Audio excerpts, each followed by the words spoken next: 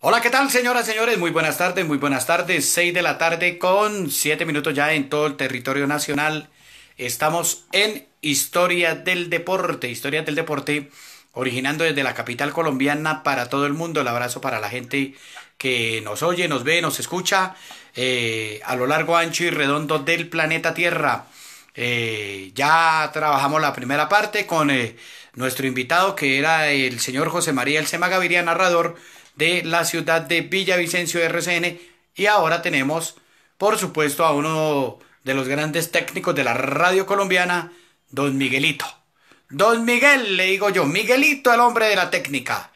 Hoy lo presentamos con el Gran San, porque nadie sabe más de moda mayorista que el Gran San. Miguel, muy buenas tardes, bienvenido a esto que llamamos Historias del Deporte a través de Ovación Radio Colombia de www.ovacionradiocolombia.com y nuestro fanpage Ovación Deportiva. Bienvenido.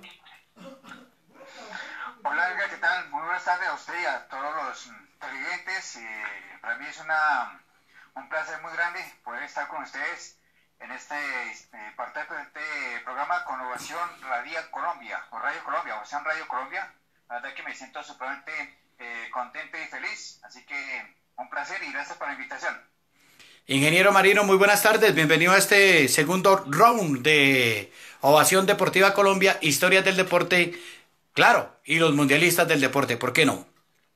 Pero ni más faltaba, ni más faltaba. Eh, es un gusto saludarlo a Miguel Ángel Rodríguez, es uno de los técnicos que ha trabajado ya eh, mucho tiempo, ha estado con nosotros en los diferentes estadios, no solo en Bogotá, Cundinamarca, sino también a nivel nacional eh, vive en un sitio privilegiado, maravilloso, que lo digo, lo envidia uno sanamente, como es ese bello municipio de Sopó. Lo que pasa es que Miguel siempre viene a Bogotá y nunca se le enreda, como dice popularmente, un quesito, ¿no? Porque allá está la fábrica más grande que alimenta al pueblo colombiano. Hola, y Alpina no se ha manifestado todavía, ¿no? Me imagino que, que dé quesitos, que dé yogur, que, que, que ayude a la gente, me imagino pues no se ha sabido más, pero me imagino que sí por ese costado del occidente y norte de, Bogotá y de Cundinamarca. ¿Qué más, don Miguel? ¿Usted no está trabajando hoy? No, acabo de llegar de laborar. Yo trabajo en una, una empresa importante en Cajicá, trabajo hasta las 4 de la tarde y ya estamos en casita aquí guardaditos porque estamos en toque de queda. El toque de queda del municipio de Sopó se inicia a las 4 de la tarde hasta las 5 de la mañana. Hay que estar muy juiciosos. Ah, qué bueno, Miguelito. Permítame un saludo al señor Julio César Ruiz Hernández, el eh, popular ruiseñor de América. Ahí conectadito, un abrazo, Julio César. Dios lo bendiga y espero que la esté pasando bien en esta pandemia. Eh, bueno, Miguel, lo hemos invitado eh, a Historias del Deporte precisamente para que hablemos de la historia de la radio, para que hablemos de usted cómo resultó siendo técnico, cómo resultó cargando cables, cómo resultó haciendo enlaces para las transmisiones, eh, cómo nació eso, por qué se enamoró de ese arte tan bonito, eh, el de conectar para uno poder transmitir. Bueno, eh, yo llegué a la radio en 1987. Yo debuté un primero de marzo de aquel año, gracias a una gran recomendación que me dio y nos dio nuestro padrino Alberto Piraíta Pacheco. Eh, llegó como periodista a una emisora local en Zipaquirá. En ese entonces se llamaba Armonías Zipaquereñas, 1600 AM, hoy se llama Armonías Zipaquirá. Eh, ya se le cambió el nombre, es una emisora, una emisora hoy todavía está afiliada a Caracol. Y empecé como periodista, hacía control master, había que colocar la música, los discos, decir la hora teníamos un programa local que se llamaba La Hora del Deporte, hoy todavía se emite. Ese tiempo salíamos de una a dos de la tarde. Hoy el programa se emite de las 11 de la mañana a 12 del día. Tres años después llegó, me descubrió un gran maestro de todos los operadores que hemos sido formadores en este país, de todas las cadenas radiales. Su nombre, Pedro Joaquín Alcalá Guzmán. Oiga, Pedrito, Pedrito que vive por los lados de Roma, ¿no? El viejito querido. Pensionado ya de Caracol. Pensionado de Caracol, tiene sus dos hijos trabajando allá, que es Enrique Acalá y Mario Fernando Acalá. Entonces, nuestras visitas eh, se quedan pues escuchándome eh, lo que el trabajo que estaba haciendo como control master y me dice, oiga, usted está bueno para que haga la parte operativa en los estadios. Veo que tiene buen oído, eh, tiene buen audaz para eh, hacer la parte técnica. Métase lo suyo a los estadios, a hacer las transmisiones desde los estadios, desde los escenarios deportivos, desde las calles, para transmitir las pruebas de ciclismo, de atletismo o lo que fuera. Y entonces le seguí, le, seguí la corriente, pero me recomendó un amigo, se llama Guillermo Hernández, él le puede vender la consola, fue la primera consolita que tuve de, tres canales. Y con eso empezamos. Entonces ya empezamos a hacer remotos y ya empezamos ya lo que ustedes decía hace un ratico, a regar cable y hacer los enlaces eh, vía telefónica para las emisoras. Ingeniero, tengo entendido, ingeniero Marino, tengo entendido que usted también eh, fue técnico, ¿no? Aparte de ser periodista, de ser eh, comentarista. Me tocó. O, o, le aprendió, o usted le aprendió algo a Miguel. sí, pero Miguel ya llega como en la tercera etapa, porque yo comencé con Raúl, que ahora está en Panamá, se quedó en Panamá Raúl me enseñó todo porque yo dije, de técnica, ni idea, ni idea. Lo que pasa es que sufría demasiado porque Mario, que era uno de los que llegó en la segunda etapa, primero fue Raúl, después fue Mario y, en la tercera etapa llegó Miguelito. Lo que pasa es que yo llegaba, como siempre he sido muy responsable, llegaba dos horas antes de una transmisión. Cuando comencé a ser empresario en la radio, por allá en Kennedy, en emisora Kennedy 430, cuando hacía referencia un compañero hace rato. Entonces, pues hermano, que me hacía eh, la técnica de Raúl, yo le pagaba, creo que 10 mil pesos o 5 mil pesos en ese entonces. Pero Raúl estaba con el doctor Carlos Antonio Vélez y cuando arrancaban ya a las 12 se le complicaba a veces eh, los, los, los, los, enlaces, ¿no? Eh, decir a Andrés Rodríguez que, es un remoto, pues estamos a nivel nacional e internacional, hay que explicárselo a nuestros oyentes, ¿no? Pero ahora lo va a explicar, ahora lo va a explicar. Entonces me tocó y Raúl, Raúl fue el que, Raúl, yo no me acuerdo ya el apellido de él, pero fue el que me dijo, venga, ingeniero, para que se quite ese problema, usted llegar aquí a las 12 y son las, eh, las 3 de la tarde y yo no he podido bajar del tercer o cuarto piso para enlazarle a usted con el teléfono o con el, el aislado. Hermano, yo voy esta semana a su oficina y le enseño. Y, uy, hermano, sería cosa que yo le agradezco.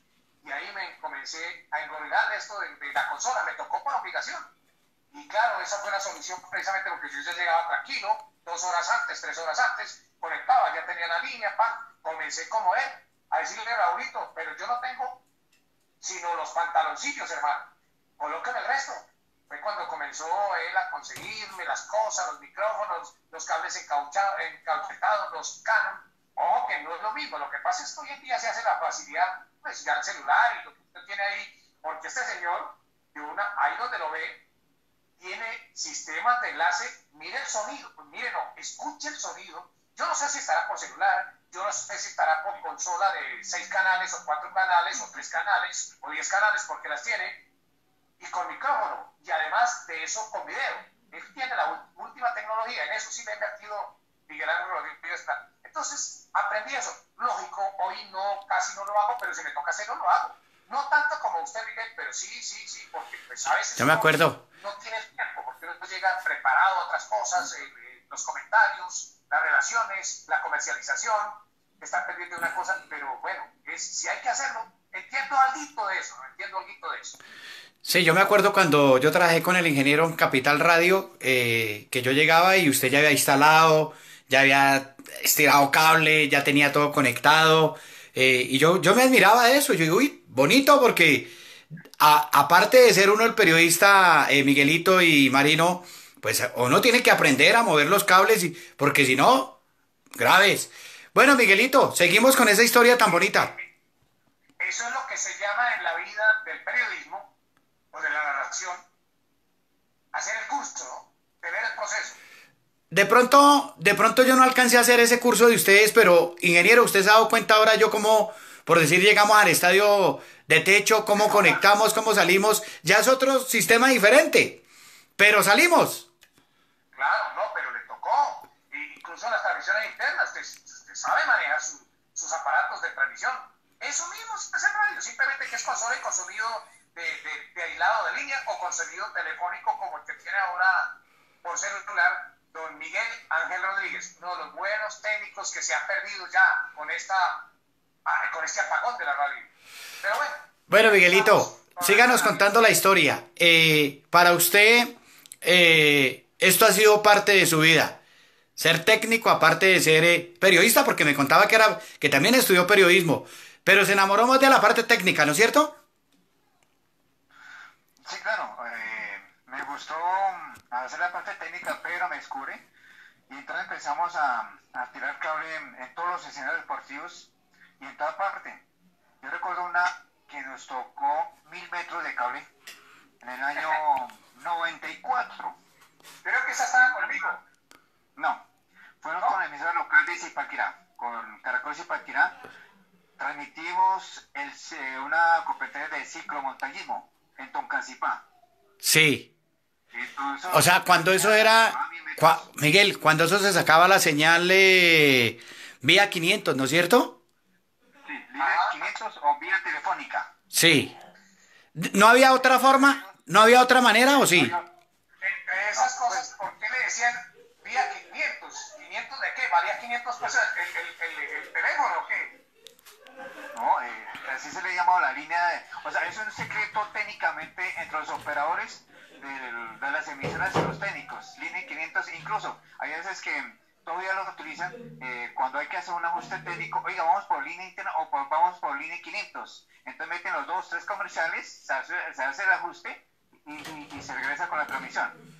Entonces siempre hemos sido, eh, siempre ha sido esa palabra de línea 500. Entonces fueron mil metros de cable, pero salimos eh, en una prueba de ciclomontañismo, una competencia muy bonita incluso, utilizamos, utilizamos dos puntos de, de, transmisión. Sacamos la transmisión por dos líneas, que era el sitio de salida o meta y punto intermedio. Ahora, el otro punto de transmisión que me dice Edgar, eh, las emisoras grandes, quienes tienen todavía hoy en día, se puede utilizar los RPT, que son los, eh, los, los equipos que van a señal a los transmisores, por los repetidores de cerro, a los repetidores. Sí. Esa es la otra señal. ¿Qué, ¿Qué es la Conres? ¿Qué es la Conres? ¿Ya es algo más moderno? lo último, es lo último que salió. Porque vino la línea de, telefónica o línea 500, vino el RPT. Después de eso vino otro equipo muy bonito que se que, eh, le daba un sonido perfecto como de cabina, que se llamó la ECO. Nosotros le decíamos el pato, porque eso ecualiza el sonido eh, como si usted estuviera en cabina. Como el que usted tiene como el que usted tiene tiene un sonido espectacular. Yo no sé por dónde usted está saliendo, pero, pero tiene un sonido espectacular. Estoy saliendo por vía celular con un equipo eh, que se hace la transmisión con micrófono y con audífonos, con el retorno, que lo estoy escuchando como si yo lo estuviera aquí al lado. Pero, pero no le metió consola cuatro canales. No, no, no, no, no, yo, sé cuál le metió a él. ¿Se acuerda la que, se acuerda el micrófono y la piecita que yo llevé a, a, Cota para el partido de Chico y, y, Chico y, y, Fortaleza. ¿Se acuerda, Miguelito, que yo llevé esa? Sí, sí, claro. Es esa misma, ¿no es cierto? Sí, claro. Esa misma la que usted tiene ahí. Es con el mismo equipo de transmisión que usted hace las transmisiones, es por, por la misma vía que estoy saliendo. Qué bueno. Que ya es mucho más moderno. Sí. entonces dejamos atrás las líneas telefónicas, dejamos atrás los repetes. Esto pues se utiliza, eh, usted puede transmitir en cualquier parte del mundo sin ningún problema. Ahora, usted me contaba la famosa Conres. Conres. Conres salió hace unos, unos seis años. Eh, se utiliza vía internet. ah, esa es, esa es vía internet, vía internet. Si no, se, si no hay internet no sale. O se puede también trabajar con, con una eh, esta vena de, de, los computadores que usted compra de gigas, de 5 o 6 gigas, el, ¿cómo se llama esto? Eh, se me escapa de pronto la, eh, el nombre. Eh, usted lo conecta. Sí, sí, sí. Sí, yo le entiendo. Que uno va y compra tantas gigas de, de internet. De internet. Usted se la conecta mm, al, al equipo de Conres, pero tiene que tener por lo menos una capacidad de 4 o 5 gigas para que le ah, bien. La SIM card. Sí, eh, parecía la sin carne, pero que eh, de, eh, el modem de internet, ya me acordé, es el modem de internet. Sí, para que salga bien.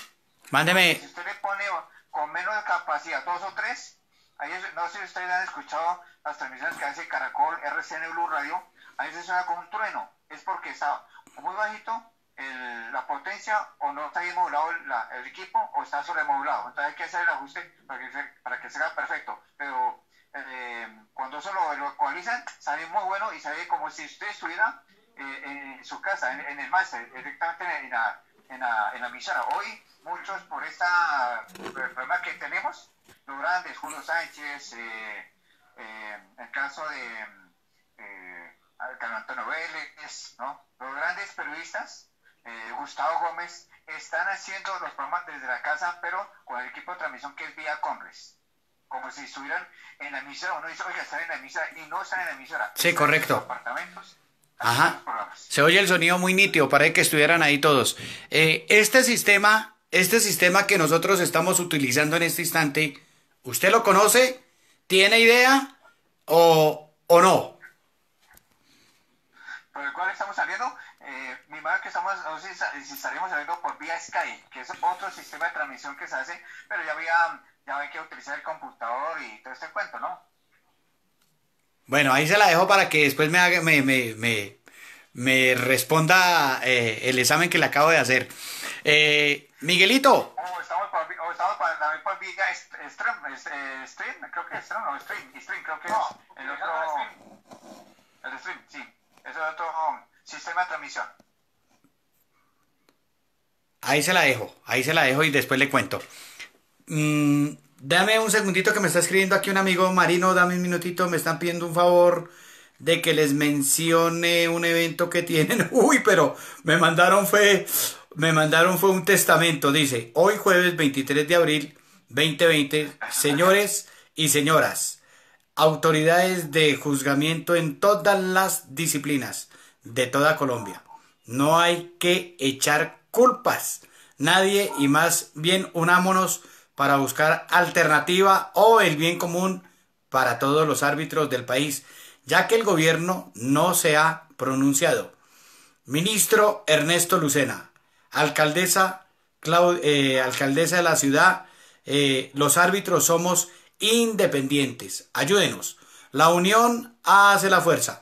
En todos los eventos deportivos, sean municipales, departamentales, regionales, nacionales y hasta mundiales, los árbitros somos héroes, sin capa, se nos tiene, sin capa, se nos tienen en cuenta, no nos tienen en cuenta muy pocas veces, por no decir que nunca, eh, por no decir que nunca, que nunca. Mm, me dice acá, por estos días de por estos días en redes, campañas para deportistas, campañas para técnicos, incluso ayudas a clubes afiliados a las diferentes ligas. Y los árbitros, bueno, esto es una protesta que ellos están haciendo sanamente, están pidiendo una ayuda, está muy largo, me lo mandaron muy largo, pero bueno, voy a terminar de leerlos y ya seguimos, Marino. Y los árbitros hacen pregunta, ¿dónde están los organizadores? ¿Dónde están los deportistas? ¿Dónde están las grandes dirigentes? ¿Dónde están los patrocinadores, esos que en los campos de juego saben más que los árbitros, esos que se llaman, que se llenan la boca diciendo para eso pago arbitraje. ¿Dónde están esos amigos y enemigos del juzgamiento? Los árbitros de todo el país y de todos los deportes, en su mayoría departamentos del juzgamiento, si no pitamos, no comemos. Nadie se manifiesta, nadie nos mira, nadie nos recuerda, ni pequeños, medianos o grandes empresarios. Eh, amigos, los árbitros también somos seres humanos, también tenemos familia y también necesitamos de esa mano amiga. Bendiciones a todos y que el poderoso nos llene de paciencia, sabiduría y mucha salud para afrontar esta situación que cada quien le dé compartir, porque la unión hace la fuerza. Con mucho gusto, mi querido Camelo, aquí estamos para ayudarles, por supuesto. Mauricio Camelo, somos ese medio de comunicación que estamos con ustedes en esta situación tan crítica que están viviendo los árbitros. Ingeniero, no tienen que comer, le cuento. Están en una situación caótica, están haciendo rifas, están en, eh, mejor dicho, haciendo cualquier cantidad de cosas porque el bendito gobierno de este país no los voltea a mirar. Pero aquí con, eh, eh, cuente con nosotros, mi querido Mauricio Camelo y toda la organización deportiva de árbitros para, por lo menos, a través de estos medios, poderles dar una voz de aliento. Y vamos, Miguelito, ¿qué opina lo de los árbitros? Y Marino, ¿usted qué opina? Déjeme decirle antes que llegue Miguel que estamos con, eh, a las 6 de la tarde, 29 minutos, con el primer grupo colombiano de emergencias en salud a nivel nacional, local y departamental. Con el grupo colombiano de emergencias, usted puede aprender virtualmente sus cursos ACLS, BLS, UCI, Grupo Colombiano de Emergencias, Centro de Entrenamiento en Emergencias, estamos en todo Colombia y en todos los municipios principales de los departamentos. Reanimación cardiopulmonar para todo el equipo de salud y emergencias, marcando la línea. Ahora, seminarios del COVID-19, la línea de la salud, 310-745-1759, 310-745-1759. Recuerde lo bueno del grupo es estar en él. Y con asistencia vital integral SAS servimos con ambulancias asistencial básica y medicalizadas, atención prehospitalaria con personal de enfermería, 24 horas para ustedes, para atenderlos y para su empresa, empresarialmente también. Correo asistencia vital integral arroba gmail.com y con Sur Inmuebles fabricamos con diseño y calidad salas, comedores, alcobas, camarotes, muebles clásicos y deco para su hogar en la avenida 68 2846 Sur, barrio del Tejar. Recibimos todas las tarjetas de crédito, tres años de garantía en todos los productos, grandes descuentos por ser fabricantes. Sur Inmuebles es calidad de muebles y obviamente con la mejor y mayor empresa que produce ropa y que vende ropa para todos los colombianos. Se llama El Gran Sam. Después de la pandemia, como dice nuestro narrador, hay que ir al Gran Sam a vestirse de nuevo.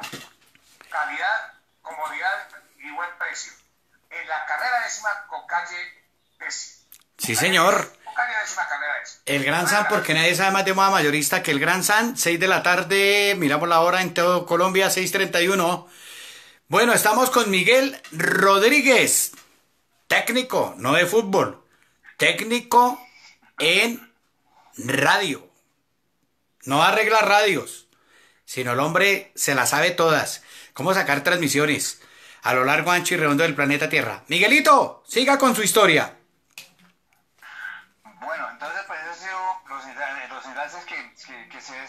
Bueno, antes que llegara la Conres, eh, otro sistema de transmisión por vía eh, internet utilizando computador es el vía Sky.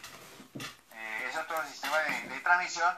El tema es que con Sky es, mejor trabajarlo con vía internet porque con el modem, esto, como nosotros le decimos los técnicos, mucho, se cae la transmisión. Es el gran, porque es muy débil la, la señal. Entonces, pues eso es lo que eh, ha sido pues los enlaces de, transmisión y bueno, los tramóviles que también porque la gente dirá, bueno, los tramóviles ¿cómo funcionan? Los tramóviles también van con el repete que envían la señal a los repetidores que están ubicados en los cerros eh, en, el país, ¿no? Miguelito, eh, ¿cuál ha sido la, experiencia más grande suya en, en, en este servicio de ser técnico en transmisiones? Eh, ¿Qué experiencia así que usted haya tenido, que usted diga, se me fue, se me cayó, eh, que sudó, que la luchó, que, mejor dicho, que, que no fue ese día, que, que prácticamente las cosas no le salieron como usted quería? Bueno, yo recuerdo una en el Olaya, creo que fue año 92, 93, creo que fue para Tobelar. Eh, estábamos, creo que estamos en el segundo partido pasó un carro grande, creo que fue un camión, y nos cortó, se llevó el cable. Eh, obviamente quedamos fuera del aire. Eh, es por la carrera 27, eh, costado, costado occidental. Carrera 24, porque la 27 de la calle, por la 24. Yo sabía, yo, yo me di cuenta de eso. De, de, un patrocinador que tenía precisamente el difunto Néstor Jaime Villa patrocinador de, de ropa deportiva, usted la, pasa, la sacaba desde el segundo piso, la dejó muy bajita, ese me acuerdo mucho. Sí, creo que yo estaba ahí, yo estaba ahí, creo que sí. Sí. ¿Y qué pasó, Miguelito? No, pues que pero el camión llevó la, llevó la, venía con la carpa donde va muy alto y no, alcanzó a pasar y se dio el cable. No, duramos, yo pienso que como una media hora o 45 minutos fuera del aire.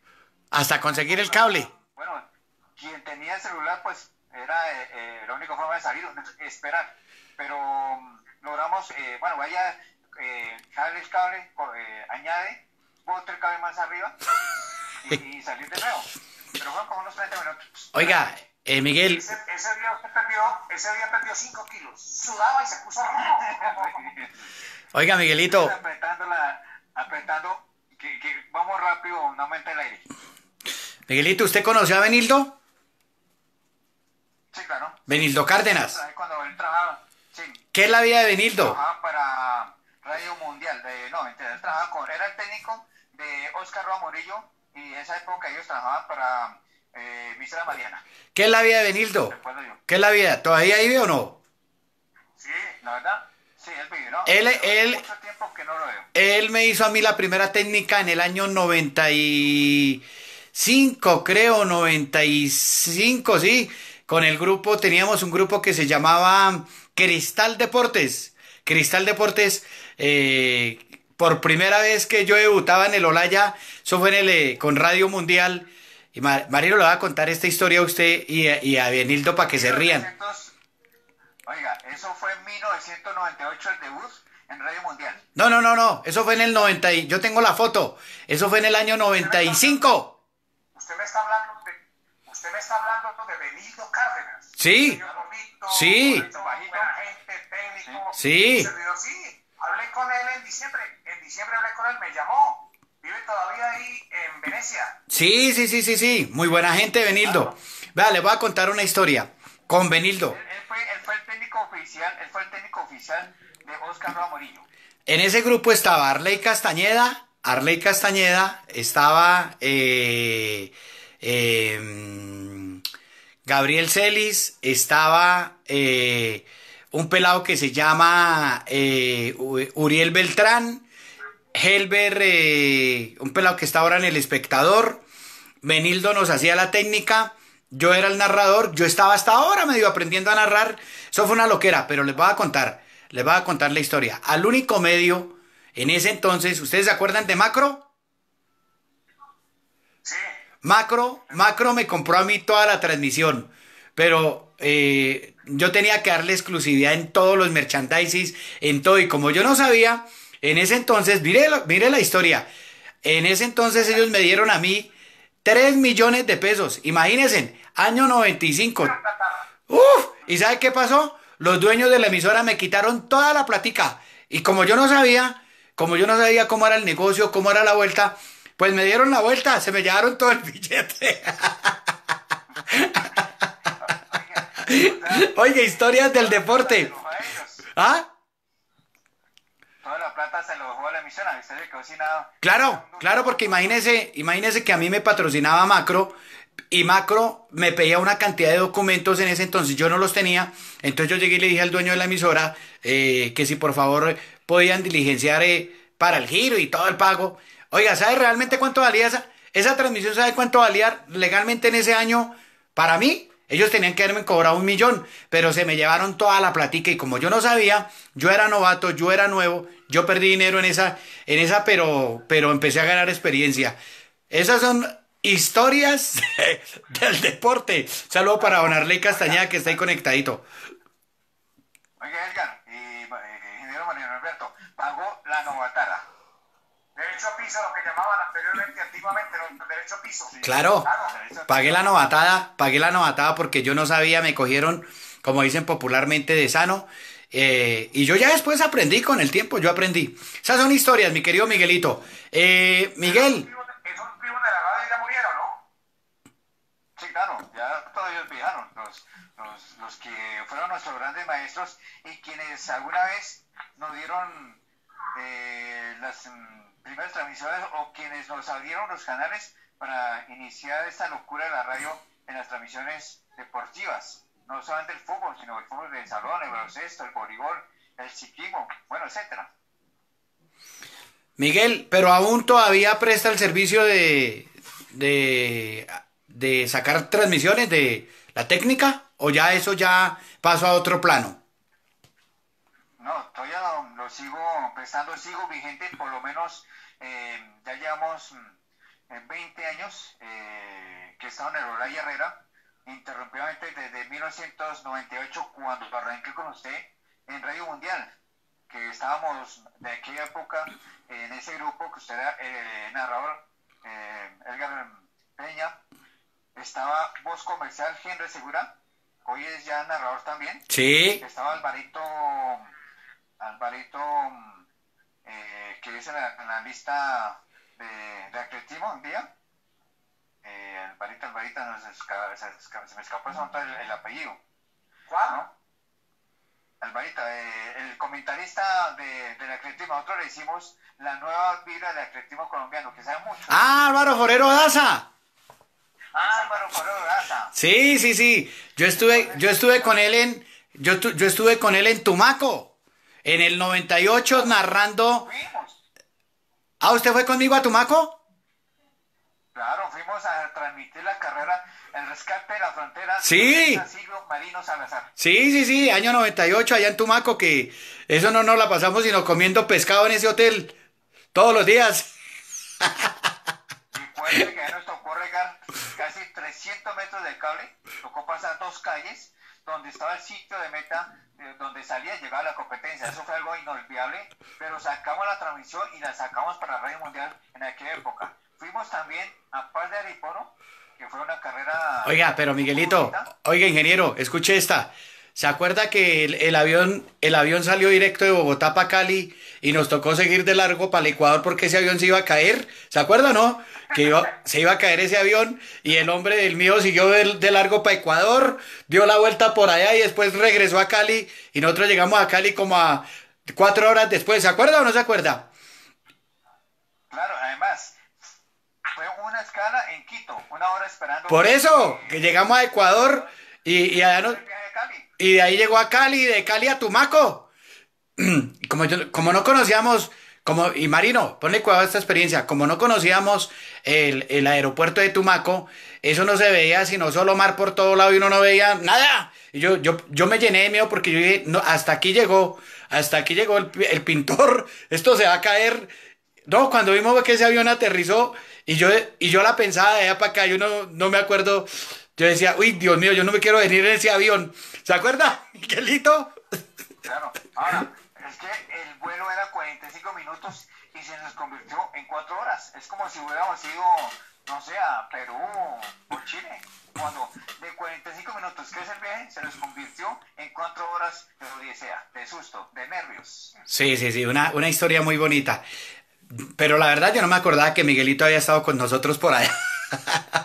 en Tumaco. Nos invitó Silvio Marino Salazar. Sí. Es el carrera, la carrera llamada el rescate de la frontera que hoy todavía está vigente. Sí, sí, sí, sí, sí, sí, sí, sí. ¿Cómo, Marino? Esa carrera es siempre, claro. Es que esa de hecho, de hecho, Silvio Salazar se nos conecta, él siempre nos saluda. Sí, sí, claro. Esa carrera todavía eh, está vigente, siempre la hacen entre mediados de octubre o noviembre. Es la fecha que la hace. Silvio Marino, sí. Claro, Silvio Marino Salazar es el presidente y organizador. Él era el pionero. ¿Era el pionero o es el pionero de eso? Hay que ir a transmitirla, hay que ir a... No, muy buena, muy buena. Mire, Marino, pero la verdad, la verdad, cuando eso, cuando eso, eh, los patrocinadores se mandaban la mano, ¿sí o no, Miguelito? Y lo apoyaban a uno y todo. Yo la verdad esa carrera, le voy a ser honesto, yo a esa carrera fui con todo pago. ¿Se acuerda, Miguel? Fuimos todos pagos. Además, eh, una mm, eh, agencia de viajes nos patrocinó o nos apoyó los viajes, los tiquetes de ida y regreso a Bogotá. Oiga, qué, qué historias tan bonitas, historias del deporte. Eh, hoy 23 de abril del 2020, en medio de esta pandemia, con un gran invitado como es don Miguel Rodríguez, el hombre que hace técnica de radio. Eh, ¿Algo más, mi querido ingeniero, eh, en medio de este programa deportivo que hoy lo hemos convertido en historias bonitas? Sí, son anécdotas, experiencias, toda una vida de una persona como nosotros que hemos estado siempre al frente de un micrófono y desde luego hay mucha experiencia. Ya casi no se vive eso, ¿no? Porque anteriormente la, el periodista vivía demasiado. Yo no sé si algunos vivirán porque es que yo viví la época, y usted creo, creo que Edgar no la alcanzó a vivir, época dura, donde se salía del estadio de Mesio Camacho Capín y los locutores llegaban al otro día a las 8 o 9 de la mañana. ¿Dónde estaban? Ni idea, pero que llegaban, llegaban. No, esa no la viví yo, yo no viví esa época, la verdad se ha dicho. Una vez por allá con usted, que nos tomamos unos traguitos de alegría, pero eso fue una vaina esporádica. Pero eso fue una... Eso era cada vez en el estadio de Nemesio Camacho Campino, en el Campicito, o en eh, las canchas que Oiga, querían. Acuérdense que nosotros salíamos del estadio y nos íbamos para donde ya, nosotros salíamos del estadio del camping y nos íbamos donde, para donde María Luisa. Sí, la de, primer- la de la comida. Claro. Decían esperar Marco Antonio Bustos. Este balón se fue a parar a las gallinas de María Luisa. Minuto 5 se va a acabar esta vaina. Y cuando Marco Antonio Bustos decía que, decía que faltaban 5 minutos, María, Luisa, María Luisa tenía que ir preparando el plato, porque el hombre terminaba y bajaba y se iba a comer. Oiga, eh, las 3 de la mañana. Miguel, ¿usted le trabajó a ellos? ¿A- ¿Usted le, le trabajó a todos esos narradores, a todos esos periodistas de, de esa época? ¿Tuvo ese privilegio? Ah, de los maestros con los que me fui encontrando por el camino, eh, primero fue con Rubén Darío Alcina, eh, Rubencho. Eh, tuvimos una experiencia bonita. En el año 2002 fuimos a Yopal Casanare a acompañar el Chico cuando subió por primera vez al torneo de la AM. Esa vez el Chico ganó 1-0 allá en Yopal y se le ganó el equipo de Pumas Casanare, que Marino Roberto, eh, ¿se acuerdo? Fuimos con, como comentaristas, dos que ya están arriba en el cielo, Néstor Jaime Villa y eh, el otro comentarista. Martín Alirio. Martín Alirio. Martín Alirio ya. Que Dios los tenga en el reino. Jugando con Rubencho, que era el narrador, y salimos para Radio Cordillera. En esa vez. Que a propósito, nos pasó una cosa curiosa. Faltando cinco minutos en ese estadio, la gente se enloqueció. Eh, yo no sé dónde que salió disparos. Yo me metí bajo de, la, de, la, de la cabina de, de- del mesón. Rubencho me dice, el operador está asustado. Nosotros seguimos narrando. Y faltando, creo que faltando 10 minutos, nos cortaron la transmisión.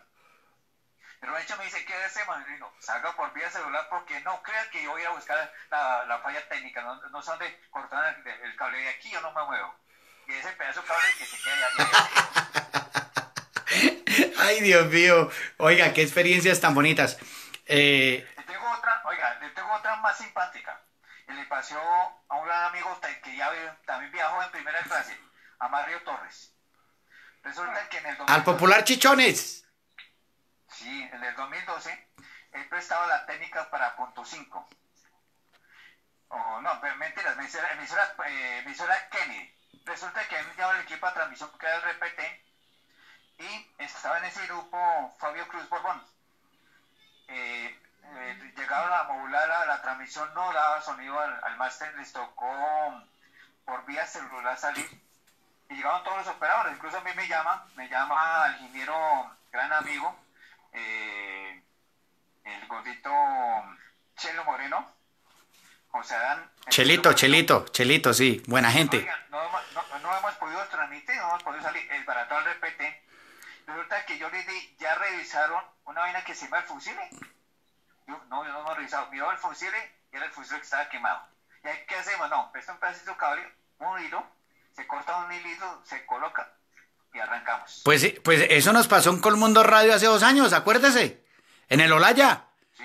Usted estaba ahí haciendo la técnica, ¿se acuerda? ¿Y que qué pasaba? ¿Y que qué pasaba? Y todo el mundo buscando el, el bendito problema y el bendito. Y llegó Miguelito y dijo, es este cablecito. y Roberto Hernández, y Roberto Hernández loco, porque él era el director de, de, de, de, de, de ese grupo en ese instante. que estaba como comentarista nuestro gran maestro Rafael Villegas. Y también ahí estaba el, el gran amigo Macedonio Valbuena.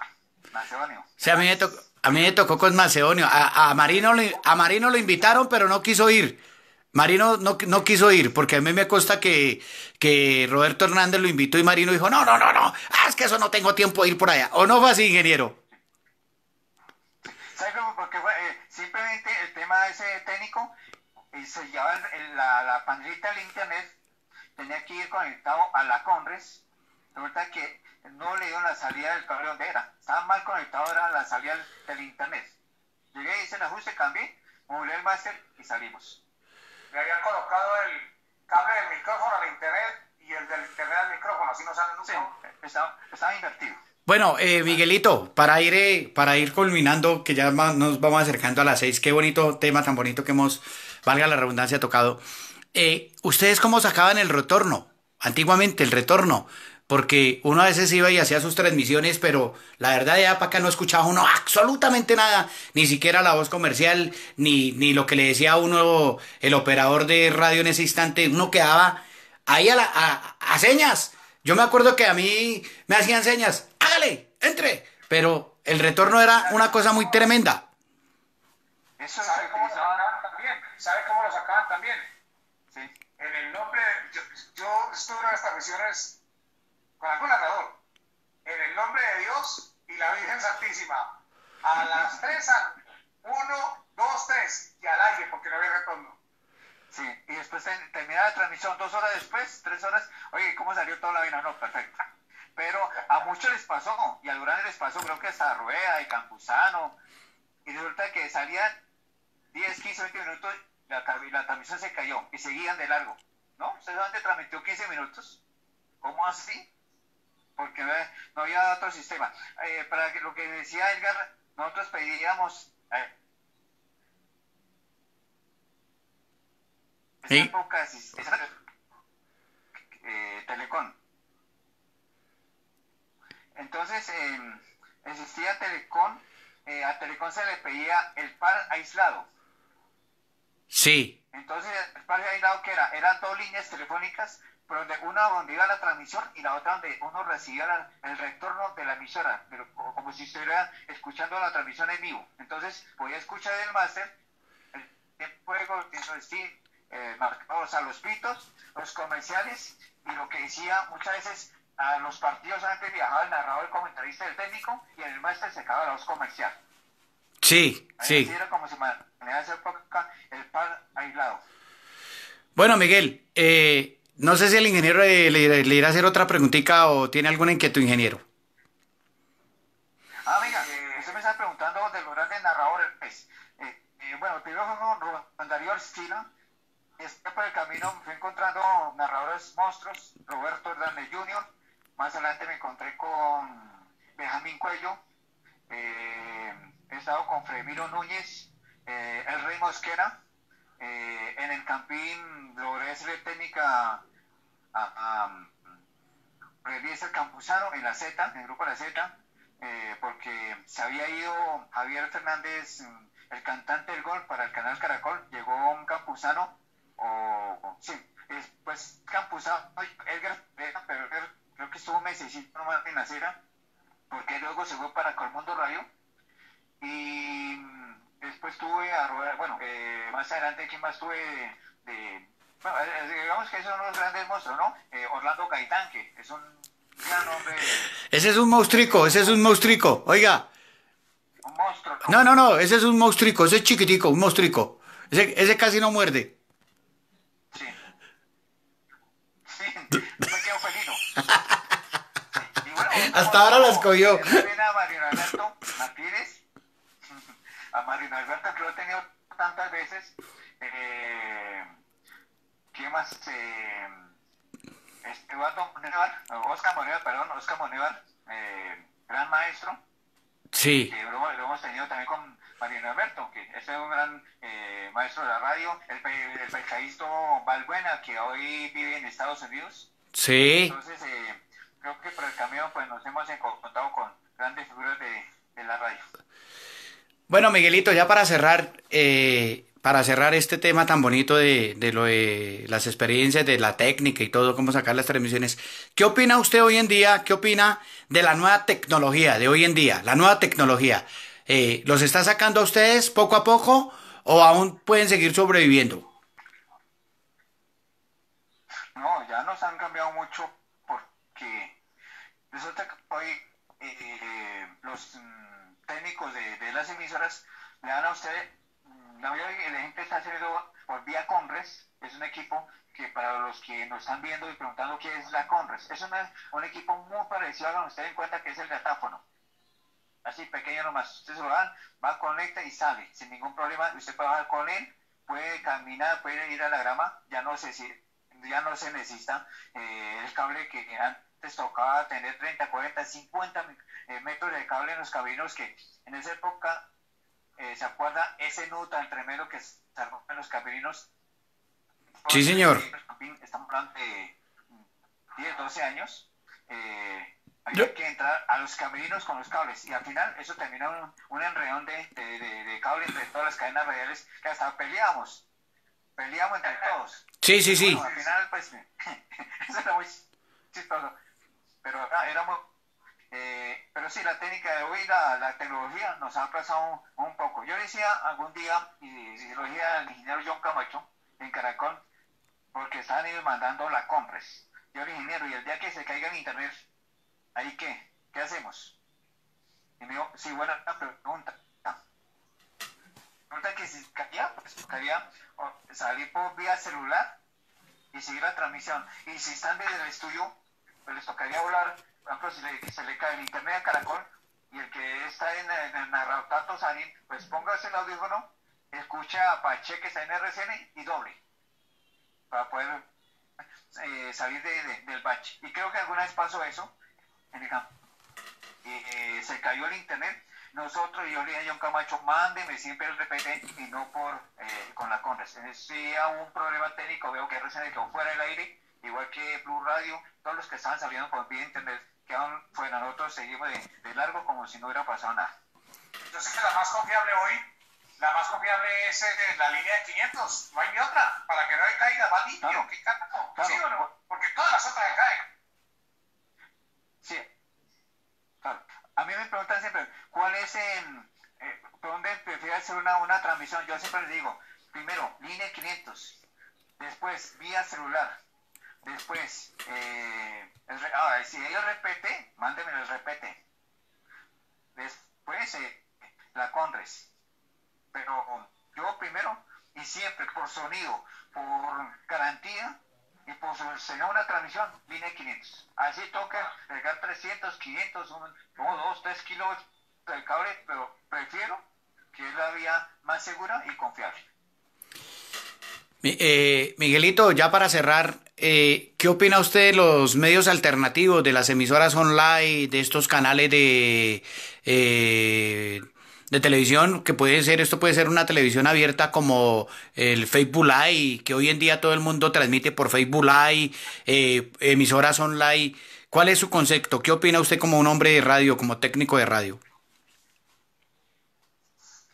Bueno, hay una cosa clara y se lo dice a todo el mundo las emisoras AM mmm, nunca va a desaparecer. Siguen siendo vigentes y, y, y audiencia y siguen escuchando el señor de la casa, el del bus, el del taxi, el de la calle, siguen llevando su redecito en la mano. Esto, eh, lo que hoy día hay en Internet, es una parte secundaria. Hasta ahora se está haciendo esa transición, pero eso va a ser muy demorado que ustedes a los muchachos, a la juventud, que son los que dicen, no, yo entro en internet y miro eh, o escucho o veo la transmisión por vía internet. De pronto ellos les da pereza eh, llevar un redicito, escuchar transmisiones por AM o FM. Pero, la radio y eso no va a morir nunca. Bueno, concepto respetable. ¿Usted qué dice, ingeniero?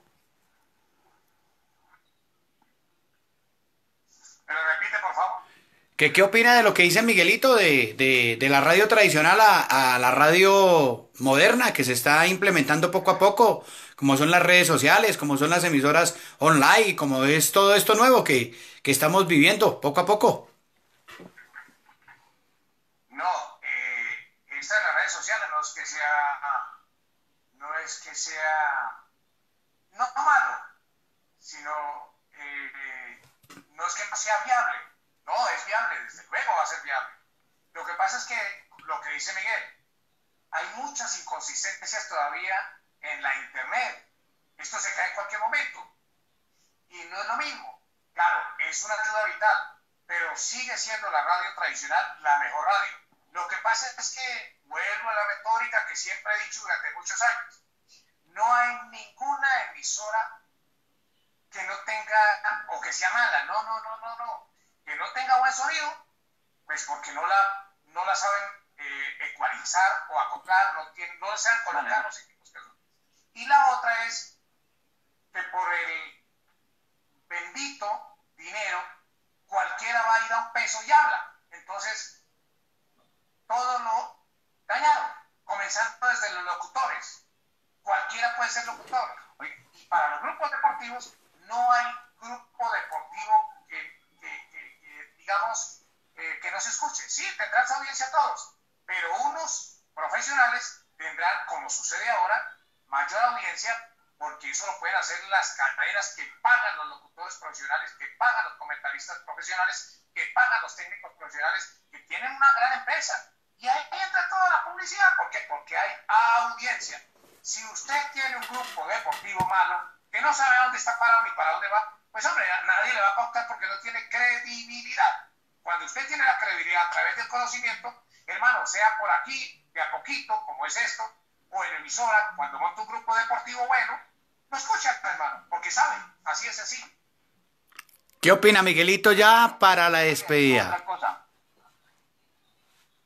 otra cosa, súmele eso que en el año 1991 en la constituyente eh, desapareció la licencia.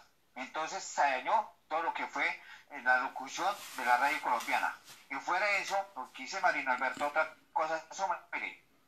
Al empezar a sumarle y lo que nosotros, yo siempre peleo, nosotros los operadores peleo, yo soy uno de los que peleo mucho, el sonido, el sonido tiene que ser fundamental, sacar un sonido bien bonito porque eso es lo que le gusta al oyente, ¿no? A eso es lo que decía María Alberto, un grupo que sea muy bueno, no, sé si tiene esa, un sonido y un gran grupo, un gran narrador, comentarista, voz comercial, la transmisión y la audiencia va para arriba, se le crece y las ventas son muy buenas. Y después usted dice, oye, qué transmisión tan bonita, qué transmisión tan espectacular y eso lo viví mucho tiempo.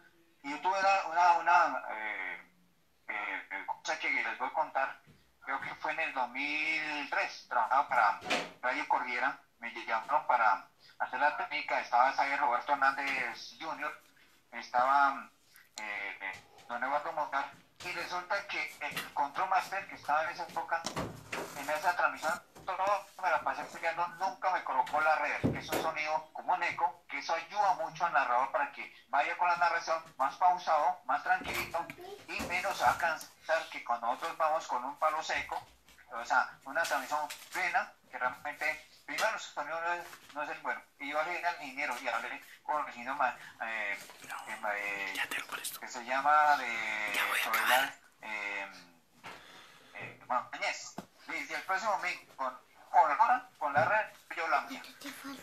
Y arreglo, eh, y arreglo el problema. Y así pues no me colaboró, me tocó colocar la red por vía de, de, la consola y salió. Después le estaba peleando, no, quíteme la red, no, se lo voy a quitar. Porque había que garantizar el sonido para que eso fuera eh, una acción exitosa. Sí, eso es verdad. Bueno, mi querido ingeniero, mil y mil gracias. Lo mismo a usted, Miguelito Rodríguez, por estas experiencias tan bonitas. Hemos llegado ya al final de esta segunda hora. ¿Cómo se da el tiempo de rápido, no?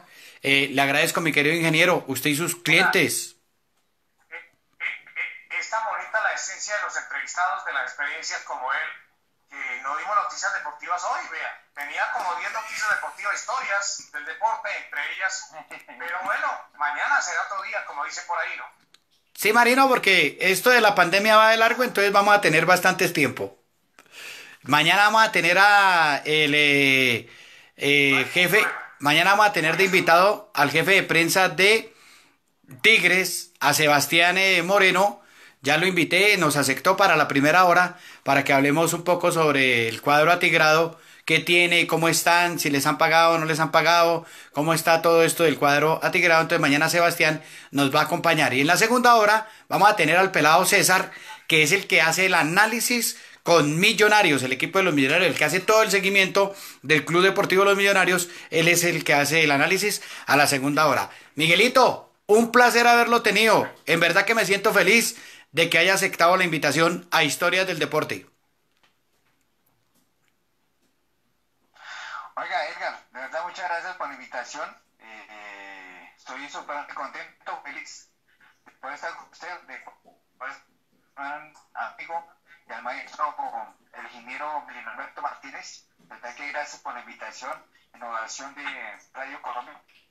Y tenemos que en primera y no, ¿sabes? porque esto hay que contar muchas cosas y muchas cosas que quedaron en un porque ya el caso mío son 33 años haciendo radio desde aquel primero de marzo de 1987 cuando Zipaquira eh, me abrieron por primera vez las perillas. Así que muchas gracias y muy amable por la invitación y seguimos a tanto y esperemos que vuelvan pronto el deporte y especialmente el fútbol porque sí que lo necesitamos. Está haciendo mucho. Gracias, Miguelito. Ingeniero Marino, muy formal.